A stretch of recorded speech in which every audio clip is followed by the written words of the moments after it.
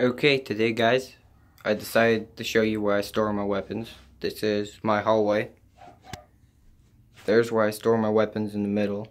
Some are laying on the floor there. Over there's where I store my sticks and stuff I'm going to turn into weapons. There's where I store most of my sticks I don't know what I'm going to do with.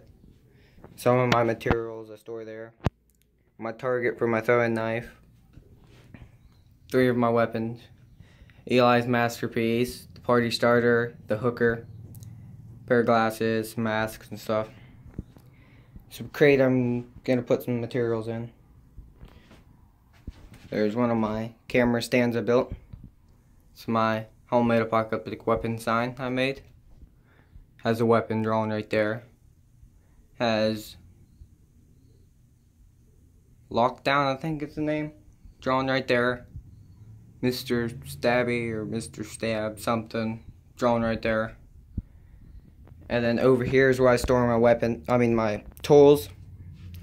One of those has my straps and stuff in it, my paracord, one has my tools.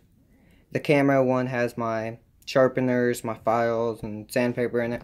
It's my hammers, my nails, my drill, my machete, my sign weapon that needs fixed, golf clubs, fishing pole and stuff. Yeah, so that's where I store all my weapons.